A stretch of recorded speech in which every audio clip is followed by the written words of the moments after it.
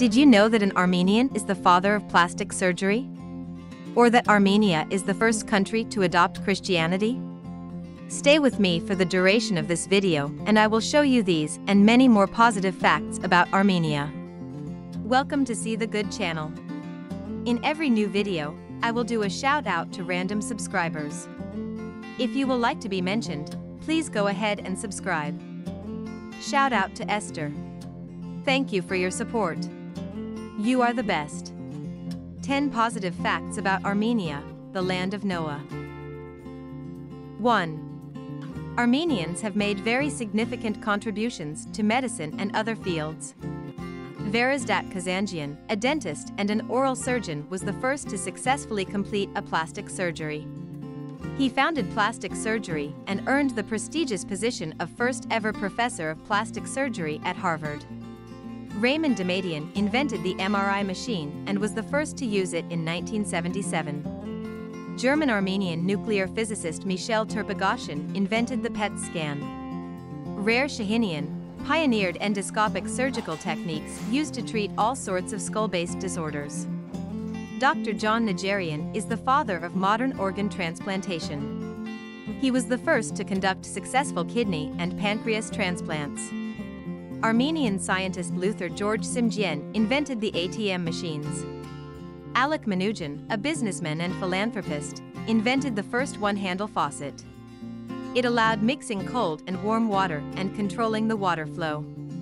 Engineer Ivan Adamian is one of the founders of Color TV with his tricolor principle.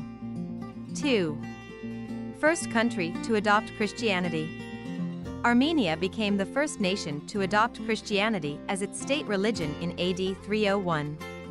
Today, 97% of the country is Christian, and it is home to one of the most beautiful churches in the world.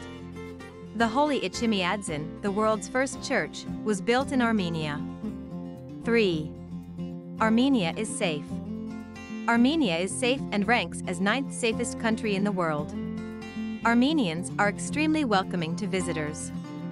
In Armenia, there is no distinction between tourists and locals. All attractions in Armenia charge the same price for both locals and tourists. This makes Armenia a very appealing tourist destination. 4. Armenian cars are eco-friendly.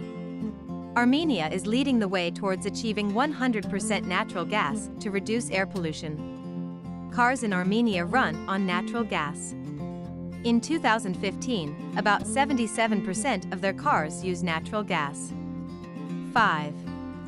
It has the world's oldest winery, Archaeologists discovered a winery in 2011 near the village of Areni that predates any other wineries that have ever been discovered anywhere else in the world. 6.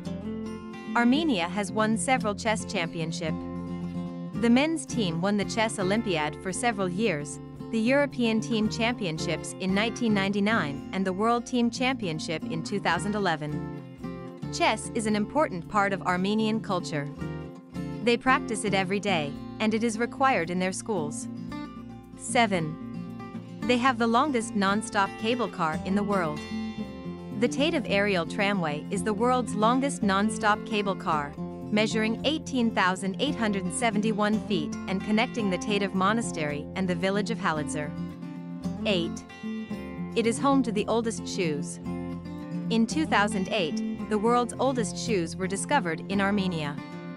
The footwear was discovered in a hole in a wall, along with a pair of goat horns. The footwear was shielded from the elements by a thick layer of sheep excrement. 9. An Armenian created the first mathematics textbook. An Armenian mathematician wrote the world's first mathematics textbook. The first textbook was written by Armenian scientist David the Invincible and is now housed in Matenadaran's Institute of Ancient Manuscripts. 10. Armenia has a very high literacy rate. Adult literacy in Armenia was 99.8% in 2020. 99% of its citizens can read and write fluently. Beautiful places to visit in Armenia are Dilijan National Park, Lake Sevan, Amberd Fortress, Noravank, and much more. Planning to visit the beautiful country of Armenia? Here are some helpful information. The average price of a three-star hotel in the capital of Yerevan is $51 for a weeknight and $48 for a weekend night.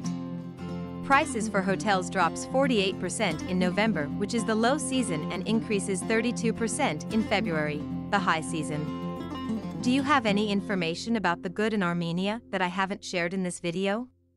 Please share it in the comments down below. Thanks for watching. If you like the content, don't forget to like and subscribe for more updates.